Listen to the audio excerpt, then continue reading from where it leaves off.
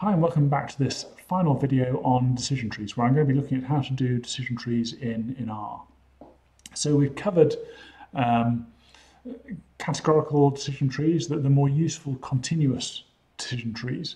Um, and it's those that I'm going to concentrate on this time when looking at how to, how to do them in R. I'm going to look at how to build them and then how to prune them as well. So if you've looked at, if you've seen my previous videos which have got things to do with R and it'll have some of the basic information on how to do it. I, I, I always use RStudio when I'm using R. Um, and I usually use the same kind of approach, which is first use the libraries and then import the data. So the libraries I'm using are openxlsx2, which I found is the fastest way of importing um, Excel data. Um, and then a couple of libraries, rpart and rpart.plot, .plot, which allow me to do the decision tree work and also display the results of the data. So the first thing I do is I read in and display the data. So uh, the first line of code, the uh, data file and the arrow pointing into it, reads in that particular file and it reads in sheet 5 of that file. Then display data file, which is the file I've just read in, just to make sure that I've got what I've expected. And then one thing I need to do is the first column, which is the one which has the information on whether um, a firm is solvent or insolvent, which I put in as 1 or minus 1, I need to convert that to a factor.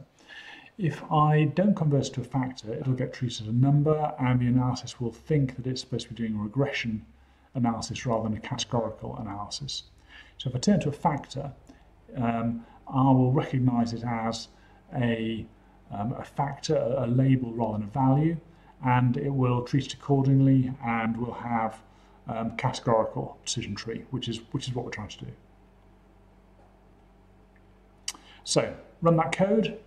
Um, everything looks right. We've got there 590 firms in this data set, and I've converted happily the uh, first column, the solvency column, into factors.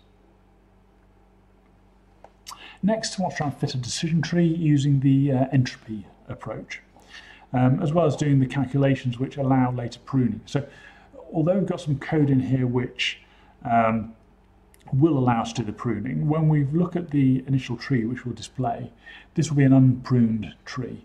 All we're doing is we're doing the calculations to create a um, a, a, a, file, uh, an, an object which has that information in it for the pruning, but doesn't actually do the pruning.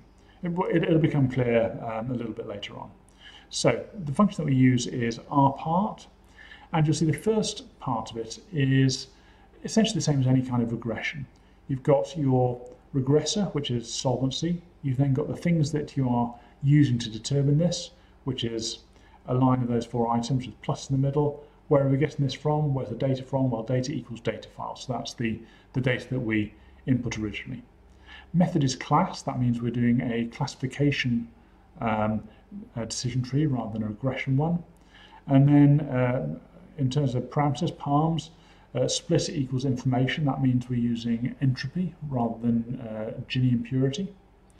And then this control thing here under rpart.control, um, the minimum number of splits, the minimum bucket size, the maximum depth, um, use surrogate and, and XVal, that's, that's the cross um, validation approach. So that's the testing across various different trees to see how stable they are, which, as I say, this is something which doesn't get used for the initial tree, but it's information which is saved for, saved for later. And then PRP is what actually um, displays the tree, which is um, D-tree entropy. Um, varlen and faclen, setting those equal to zero, that's essentially just determining how many characters are shown in the labels, and that sets it to all of them. Um, extra equals one.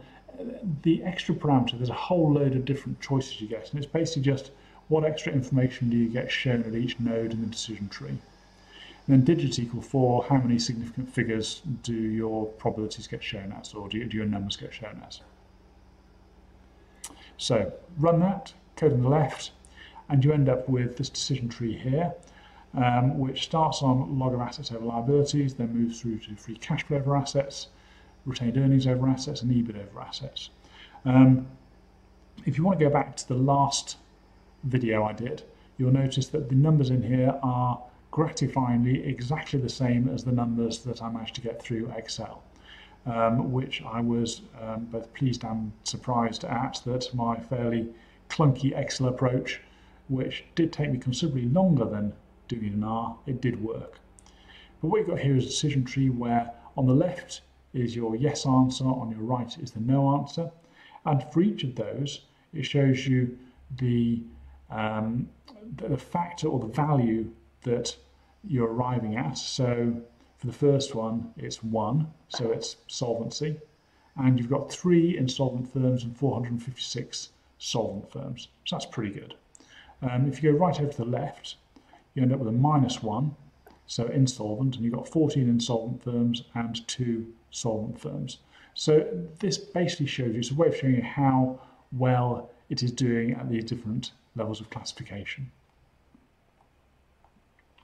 So this bit is going to be quite dull for this particular decision tree because uh, the, answer will look exactly like the original tree. But anyway, um, what we are trying to do is we are trying to prune. And we're going to do this using um, what's called a complexity parameter.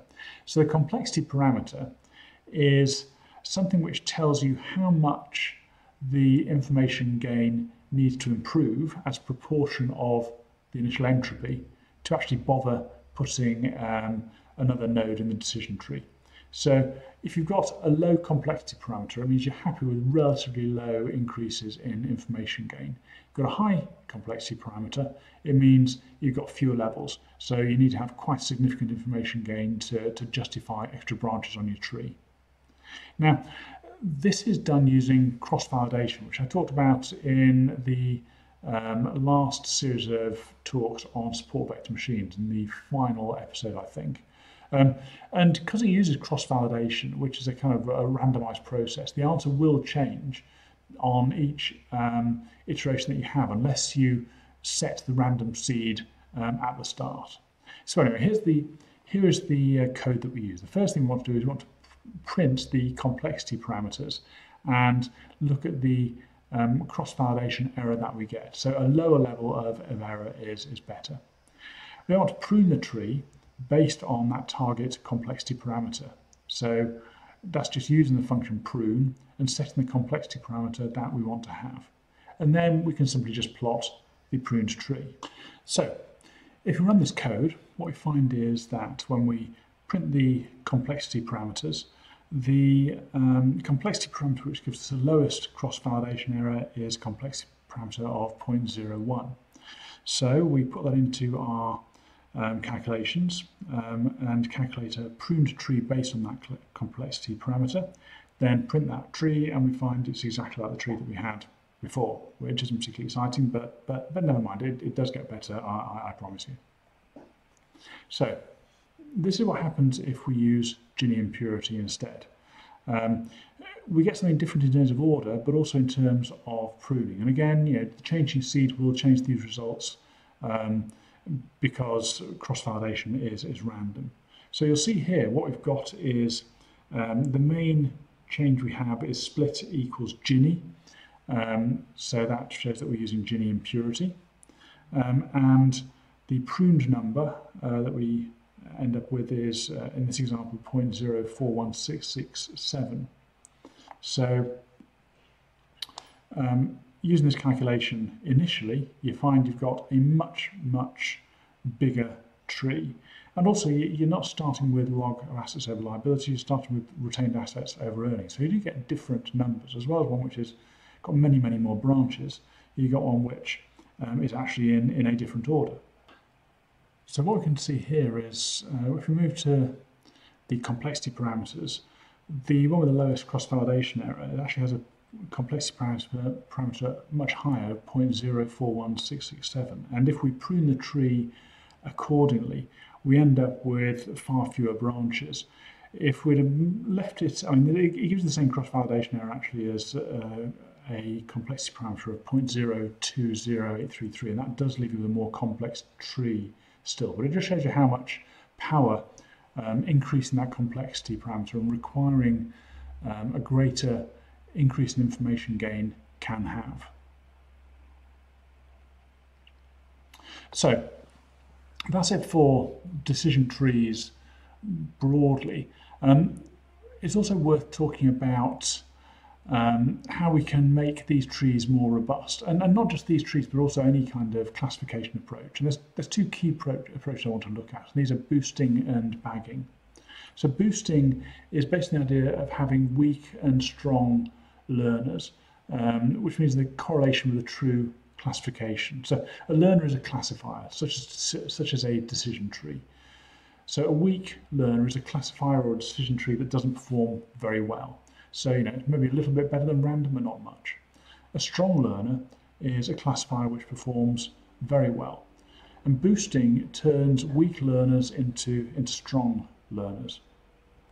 So the algorithms are iterative, and what they try to do is they try to learn which classifiers, which decision trees are, are weak, and then try to weight them accordingly. So you, you, you take your weak classifiers, you weight, weight them and you combine them to create a single strong classifier. Bagging, on the other hand, this is bootstrap aggregating, and it involves using a classifier such as a decision tree with subsets of the original training set, which you choose with replacement. So if you've got 590 um, firms, you take maybe 150 and you fit your tree on that, then you take another 150, which might be uh, include some of the original ones, you fit your tree to that, and so on. And, you do this, um, so, so you're choosing with replacement, um, but the set you've got, actually, so slightly wrong what I was saying, the set you've got is actually the same size as your original set, but um, it's going to have some duplicates in there. And you repeat this with further groups of, uh, uh, of subsets from the original data. And then what you do is you then test this on what's called the out of bag subset, so the information which hasn't been pulled into your, into your training set to test the accuracy of the model fit. Now, random forests, which you may have heard of, these are a particular type of bagging algorithm, and they don't just resample the data, they also randomly select the features which are used in the model. So the actual structure of the tree is going to be randomized. So um, it's just going one level further in terms of that um, uh, bootstrapping approach in terms of reusing the data. Now, all of these ensemble techniques can be used for a wide range of classification models. So you don't just have to use them in decision trees, but KNN, support vector machines, all of these can um, be augmented by uh, bagging and boosting um, your, your data. So it's not just something for decision trees. One way of thinking about boosting and bagging is in terms of these ideas of bias and variance, which are the two main sources of model error that you've got. Um, so bias means that you're consistently off target in a particular direction. And variance means that you're not very good at hitting the target. So this has been demonstrated or this has been shown in terms of this kind of target um, approach here. So we've got low bias and low variance. Everything's grouped together and pretty much on target. High bias and low variance, everything's grouped together, it's just in the wrong place. High variance and low bias means it's more or less on target, but it doesn't hit it very reliably. Whereas high bias, high variance means it's all over the place and it's not even averaging the uh, hitting the target. Um, so you've, you've got all sorts of problems there. And this is a useful way of thinking about it because boosting is something which helps reduce bias. Because when bias is detected in the model, the weights are adjusted to try to compensate for that. So if you're consistently off target in a particular direction, then boosting should help um, nudge your model closer to target. So it should mean that your classifiers get better at the job they're supposed to do. And bagging helps reduce variance. So by resampling, so essentially increasing the effective size of the training set, it should be possible to reduce the variability of the outcomes. So the advantage of decision trees, I mean, they are, I think, quite simple to understand and to interpret, and, and they're quite useful for scenario analysis. You can combine them with other classification methods if you want. Um, you don't really need to do much of the data beforehand. You don't even need to have complete data when you're when you're using them. And as we've seen, you can use them for both categorical and for continuous data. And importantly, because you're looking at things, particularly on the continuous side, where you've got a cut-off value, if you've got non-linearity, if you've got outliers, it shouldn't really affect the results too much because it's not the magnitude of the um, numbers that you're looking at. It's whether which side of a particular boundary they fall, which is important. But there are some disadvantages as well. I mean, if you've got more than um, two categories, um, then you, you do potentially have some bias problems. And if you've got a large number of classes relative to the training set, it doesn't work very well. It can also get quite computationally expensive to train the tree if you're having to run through um, a large number of categories to try to calculate the entropy for every possible um, point in each of those sub data sets. That can get that can get quite uh, tricky. And complex trees are generally overfitted trees, and if they're overfitted, they're often not great predictors. There's also the risk that small variations in the training data can lead to unstable results. I mean, you can see that from the difference between the entropy and the Gini trees. They have quite different structures. So if you think just changing the data could also lead to that kind of level of instability, that just needs to be borne in mind that you want to be happy that you are using something which is at least reasonably robust.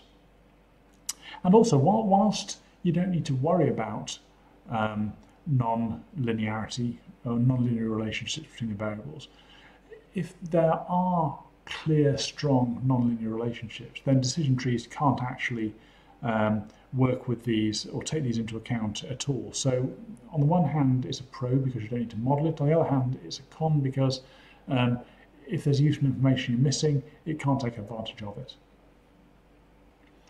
So that's it for decision trees. I hope you found this uh, short series useful as with everything else. Um, and I will be back with some more videos, um, hopefully in the not too distant future.